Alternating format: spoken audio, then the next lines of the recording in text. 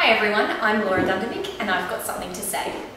A friend of mine who's actually taking part in this year's Mardi Gras has been in a gay relationship for 25 years, but doesn't have the same rights to get married as a friend of mine who's been in a straight de facto relationship for two years. Let's make this year's Mardi Gras all about acceptance and equality. Happy Mardi Gras, Sydney!